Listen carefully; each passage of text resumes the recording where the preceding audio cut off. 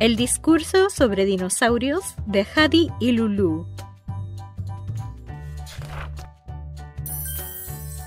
Voltea la página para empezar.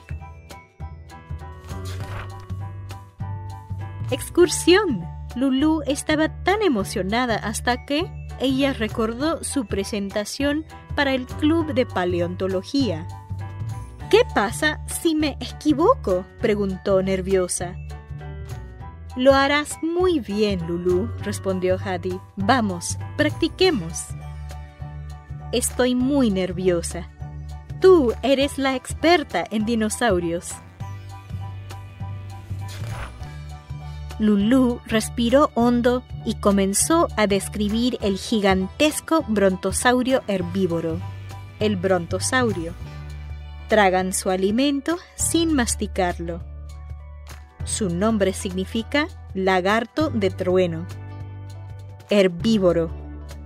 Crecen hasta 22 metros de largo.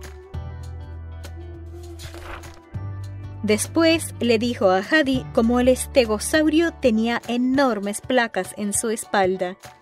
El estegosaurio, una cola puntiaguda para su protección.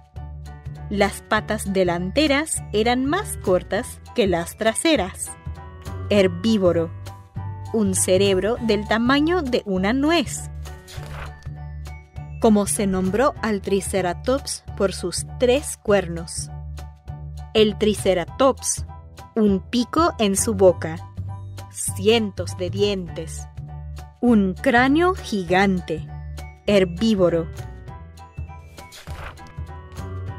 Y como el tiranosaurio tenía unos dientes grandes y afilados, ahora era Javi quien parecía nerviosa.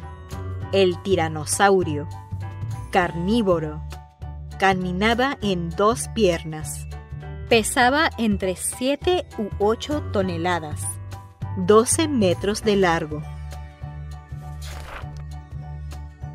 Cuando llegaron al veloz e inteligente Velociraptor, Lulu se dio cuenta de que se estaba divirtiendo. El Velociraptor, con plumas en su cuerpo, del tamaño de un pavo, corría hasta 65 kilómetros por hora carnívoro.